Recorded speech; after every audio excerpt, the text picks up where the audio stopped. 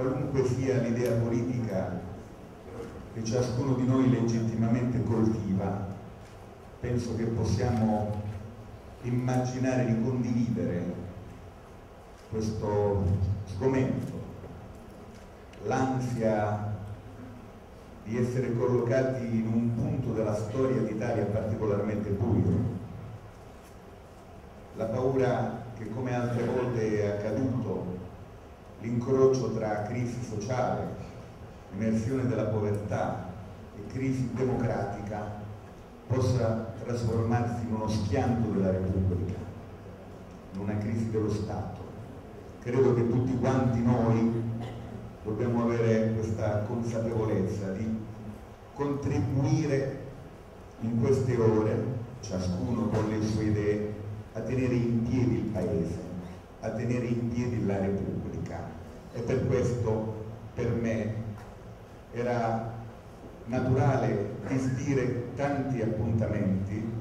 perché come potete immaginare è necessario stare laddove si decidono le cose fondamentali,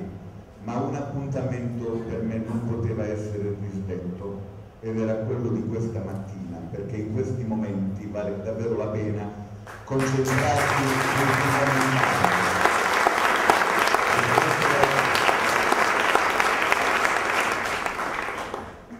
Se volete trovare un angolo di consolazione oggi nella lettura dei giornali, forse vale la pena aprire le pagine culturali di Repubblica e leggere l'intervento di Umberto Eco sulla nascita dell'università come luogo di fondazione dell'Europa. L'Europa non è nata per ragioni naturali o metafisiche, non è nata dalle leggende e dai miti soltanto, è nata da una formidabile elaborazione, da una produzione di idee, da una produzione di visioni, di ambizioni. E mille anni fa, con la nascita della prima università in Europa, si è cominciato a costruire quella stratificazione di saperi e di consapevolezza che oggi noi chiamiamo Europa. Anche in questo contesto bisogna collocare questa vicenda di oggi. Certo, per Foggia, penso di poterlo dire, si tratta di un'incredibile accelerazione sulla strada del proprio riscatto. Il polo biomedico di qualche giorno fa, il polo delle scienze umanistiche oggi, ecco già questo dovrebbe indurre una, riflessione supplementare. Siamo in un'epoca in cui queste due realtà, quella che si iscrive nella dimensione tipicamente scientifica e quella che si iscrive nella dimensione tipicamente umanistica, sono realtà molto più comunicanti di quanto non fosse immaginabile ancora pochi anni fa.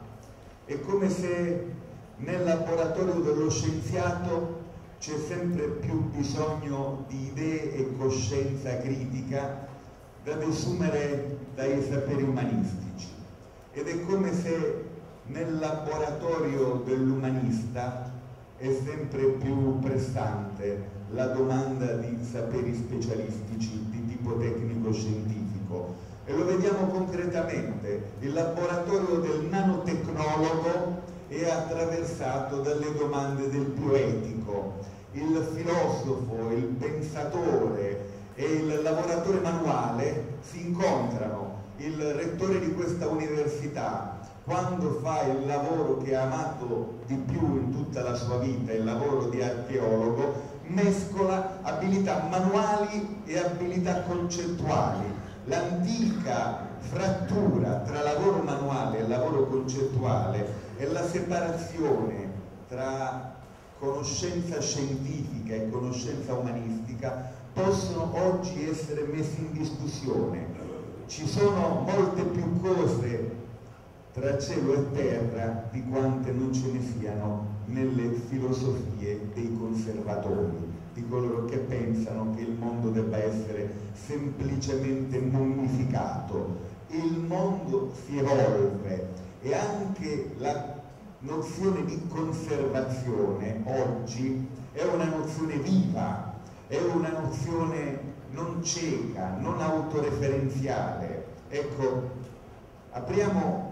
il polo umanistico a Foggia in un momento in cui la nostra regione, come tutte le altre regioni, vive una contesa sui temi di cui stiamo parlando. Non si pensi che qui si fa accademia, qui si fa politica, qui si fa politica, non politica delle appartenenze, dei partiti, bisogna decidere se il patrimonio di beni culturali e di beni naturali e ambientali che abbiamo ereditato può essere in qualche modo, in mille modi con mille sotterfugi privatizzato, può essere mutilato, può essere manipolato, o se quel patrimonio invece è il fondamento medesimo dell'idea di nazione, di patria, di popolo, cioè quel patrimonio che è soprattutto legato alla peculiarità del rapporto tra territorio urbano e territorio rurale, se quel patrimonio, la sua tutela è o no un pezzo, lo dico così, di un moderno patriottismo di cui c'è bisogno nel nostro paese. E questa contesa è nella Puglia, come in tutta Italia. E oggi, per esempio, legata al tema del paesaggio, laddove noi credo che dobbiamo assumere delle decisioni cogenti se vogliamo tornare indietro, rimettere le lancette dell'orologio della storia pugliese indietro, a prima di Punta Perotti, se vogliamo tornare in un'epoca in cui gli ecomostri sembrano effetti collaterali di un modello, di un modello o, se invece, o se invece possiamo evolverci in una chiave non punitiva nei confronti degli interessi privati. Badate, si tratta di chiudere una guerra fin troppo lunga tra pubblico e privato, dove di volta in volta l'uno si rappresenta come portatore del bene e l'altro viene rappresentato come portatore del male. Il pubblico come portatore di, di elefantiasi burocratica e di paralisi, oppure portatore di vincoli vessatori, e il privato come portatore di interessi semi-gangsteristici. È uno stereotipo che va superato, ma anche l'idea diciamo, che l'uno o l'altro liberi da qualunque vincolo possano salvare il paese è un'idea. Noi abbiamo bisogno di fare appello al privato, al suo protagonismo e alla convenienza del rispetto delle regole. Noi abbiamo parlato con i protagonisti del mondo economico e chiediamo loro se non è oggi economicamente conveniente mettere a tema lo stop al consumo di suolo, se non è conveniente per ragioni economiche chiudere con l'idea mostruosa di un'espansione infinita delle città, laddove le città hanno bisogno di interventi di manutenzione, di riqualificazione, di recupero, di riuso del patrimonio costruito. C'è un punto, io credo, di rimente della storia nostra e guardiamoci sotto i piedi, guardiamoci, diciamo, non dimenticando neanche le tragedie che hanno disvelato, che hanno avuto la forza di essere un'epifania, fosse la tragedia di Viale Giotto qui a Foggia o la tragedia della famiglia di Castano delle Murge inghiottita dal fango. Cioè se noi non siamo in grado di mettere la Puglia e l'Italia di fronte a uno specchio per vederne le brutture,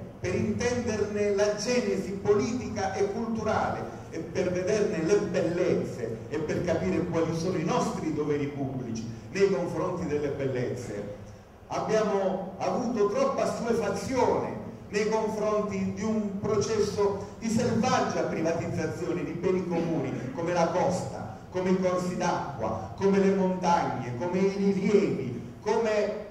il patrimonio architettonico, il patrimonio urbanistico. Abbiamo avuto troppa assuefazione. Abbiamo accettato che Pompei diventasse il simbolo della sciatteria, e lo dico avendo qui vicino il ministro